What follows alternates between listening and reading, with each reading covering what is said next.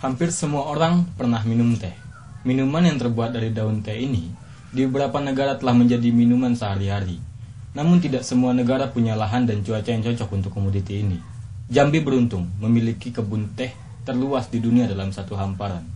Namun bagaimana kondisinya kini? Berikut liputannya. Perkebunan teh kayu aro di kaki Gunung Kerinci seluas 3020 hektar ini adalah salah satu hamparan kebun teh terluas di dunia.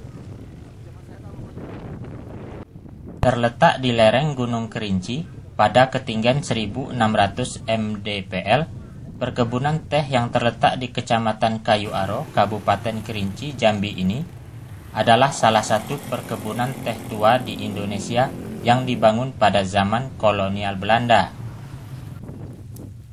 Penanaman teh dimulai pada tahun 1929 dan pabrik teh dimulai didirikan pada tahun 1932.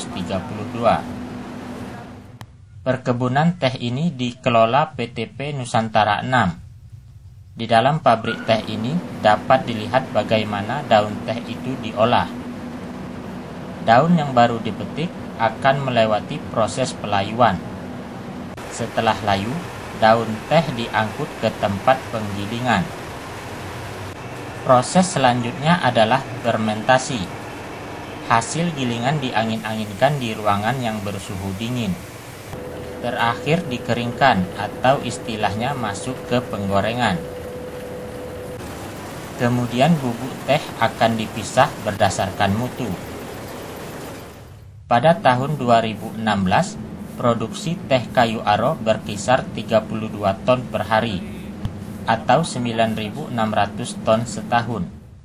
Sekarang yang kita kejar Pak produktivitasnya, produktivitas peta. Iya Pak. Pak Pak direksi mengharapkan 2 eh, 2 ton 2 ton 400 kering untuk kayu aro per hektar Pak. Per hektar. Untuk penjualan Pak kita hanya menyiapkan teh sampai produk jadi, jadi untuk penjualan di kantor direksi Pak. Direksi. Sebagian produksi teh kayu aro diekspor dan juga digunakan produsen teh botol dan teh celup di Indonesia.